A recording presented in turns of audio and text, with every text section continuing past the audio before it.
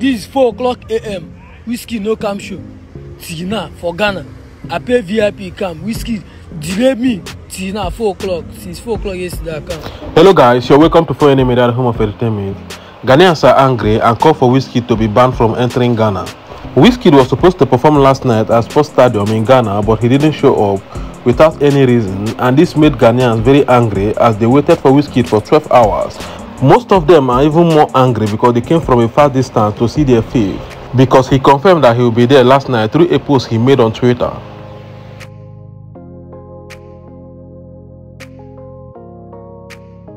Wizkid has also been on blogs since yesterday following his new hairstyle and to his arrival to Ghana as he's seen partying with Ghanaian artist King Promise.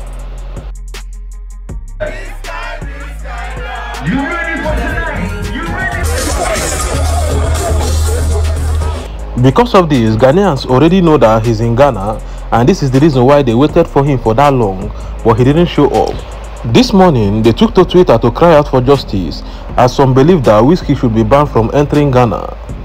According to this one, she said, People leaving at 4 a.m. after 12 hours of waiting for Wizkid.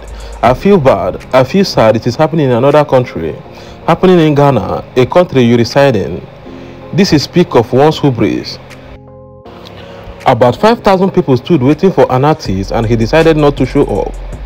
The authority should intervene. He should be banned and the organizer should be sanctioned.